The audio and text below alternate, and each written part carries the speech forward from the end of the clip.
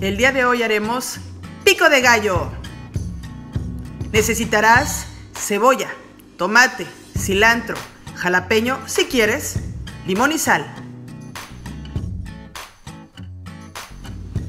Corta o como decimos, pica tu cebolla, no muy pequeña. Haz cuadros medianos. Fíjate cómo lo hago. Asimismo tu tomate, córtalo en cuadros, no muy pequeños, que vayan de acuerdo con la cebolla. Si tú haces los cuadros muy pequeños, tu salsa pico de gallo va a quedar con mucha agua. Para cortar tu cilantro, el tallo es bien pequeñito y las hojas bien amplio, si no el cilantro se pone negro. Cuidado.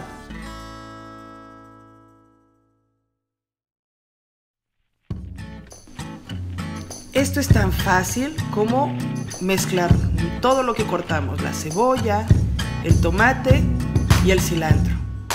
Y revolvemos bien con una cuchara.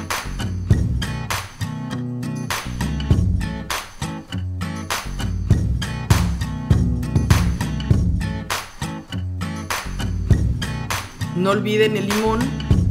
Las gotitas dependen de su gusto. Cada quien decide cuánto limón le pone. Eso es bien importante que con la sal y el limón lo estén probando para llegar al punto exacto en que les guste.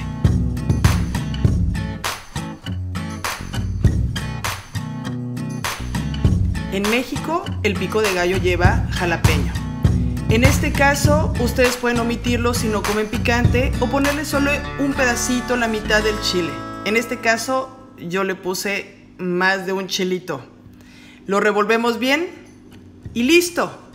Tienen con ustedes el verdadero y original pico de gallo mexicano. Si te gusta esta receta, dame like en el canal La Mexicana en Paraguay y dime qué más te gustaría que te enseñe a preparar. Saludos.